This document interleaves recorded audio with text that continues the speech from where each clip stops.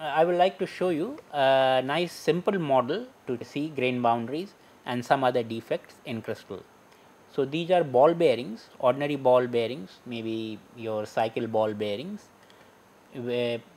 placed between two glass plates. So, if you can arrange two glass plates in which the ball bearings can move, you have a nice model, a two dimensional model of a crystal which will show you uh, the grain boundaries and some other defects. So, if I if I take this model and and shake it then you can see I have some something like fluid.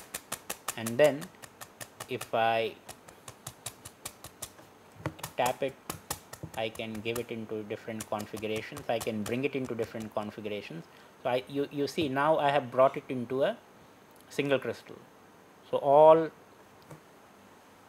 all atoms and all uh, are in a nice periodic arrangement and there seem to be no defect other than the free surface which is on the top of the crystal.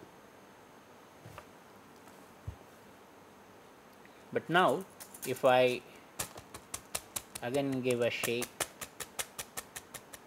to create a different configuration you can see now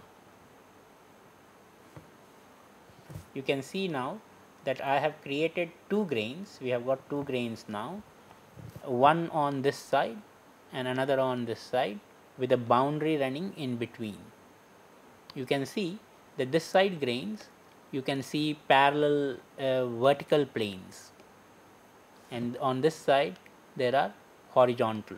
What really has happened that this grain the a row of close packed atoms or a close packed ball bearings have aligned with the vertical side of the vertical edge of the model